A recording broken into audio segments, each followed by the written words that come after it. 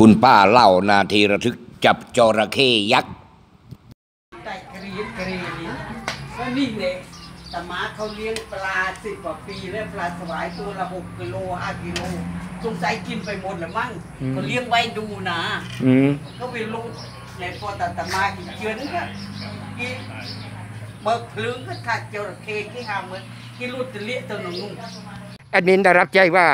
มีจระเข้ครับมีจระเข้พัดหลงเข้ามาใน ที่บ้านหลังนี้ครับ สวัสดีครับ ลุงน้อยนี่ลุงน้อยบ้านกระวันตำบลหนองใหญ่อำเภอปราศาสตร์จะพามาดูนะครับว่าสถานที่จระเข้อยู่ตรงไหนอะไรยังไงครับ เดี๋ยวเราจะมาพูดคุยกับลุงน้อยนะครับ ลุงน้อยบ้านกระวันครับ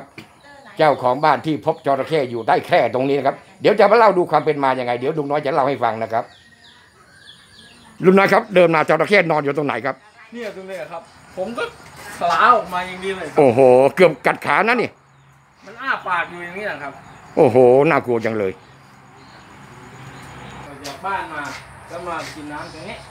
ลงแคร่เนะครับลงแคร่แคร่ผมมันมีบ่อน้ำอยู่ข้างหลัง แล้วทีนี้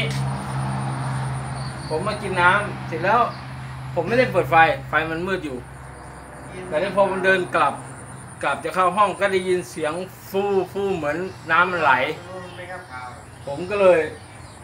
มาเชงเง้อดู มาเชงเง้อดูว่าอ้าวน้ำก็ปิดแล้ว แต่ทำไมได้ยินเสียงก็ไม่เห็นอะไร ผมก็ลองเปิดไฟดู เปิดไฟดูทีนี้ผมก็มาดูใหม่ ตรงเนี้ยครับเนี่ยตรงข้างแคร่เลยเนี่ยตรงเนี้ยดูระหว่างเตากับแคร่ผมมันก็หมอบอยู่ตรงนี้ครับพอเห็นเท่านั้นแหละผมก็วิ่งออกมาวิ่งออกไปทางหน้าบ้าน ครับ ยาวกี่เมตรครับ ยาวกี่เมตร ประมาณเกือบสองเมตรอะครับ อื้อหือตัวใหญ่มาก อายุประมาณกี่ปีครับเนี่ยเออน่าจะประมาณสักห้าหกปีหรือ ประมาณนี้แหละครับแล้วตอนนี้ยังไงหลังจากเจอจระเข้แล้วเป็นยังไงต่อ แจ้งไปที่ ทีนี้พอผมก็ไปวิ่งไปหาน้องอยู่บ้านข้างๆ บอกว่า เอ้ยทำไงดี ก็เลยอ๋อเขาบอกว่า แจ้ง แจ้งกู้ภัยมาจับ แล้วก็กู้ภัยจับได้ไหมก็จับได้ครับ แต่ว่าเขาก็ มีคนมาเยอะครับ มีคนมาหลายหน่วยหน่วยงานด้วย มาคนในหมู่บ้านด้วย มาช่วยกันช่วยกันจับอ่าช่วยกันจับ ก็ประมาณเขาใช้เวลาการจับจระเข้นานไหมครับ เออก็ชาวบ้านมาด้วยหน่วยกู้ภัยมาด้วย ก็ประมาณชั่วโมงหนึ่งอะครับอ่าชั่วโมงหนึ่งครับ จับได้แล้วเอาไปไหนครับอะเออเห็น ใส่รถกระบะไปผมก็ไม่ทราบเหมือนกันว่าเอาไปไหนอะครับ น่าจะต้อง